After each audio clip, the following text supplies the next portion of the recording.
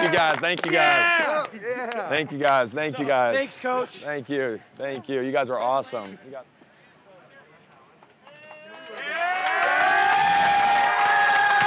I'm gonna put these right here. As a player here, as someone who graduated from here, my favorite memories were road games when I would hear SIU chants at the end of the game because we beat them, you know. And for you guys to come and bring the energy you guys did, it means so much to our program. You guys have been amazing all year. Stick with this team. We're gonna win championships here. I promise you guys that much, and it's gonna be a hell of a ride. So thank you guys. Thank you guys. Yeah! We got a bunch of pizza for you guys. Have a safe trip, and we'll see you guys at the next home game. All right? Thank you guys.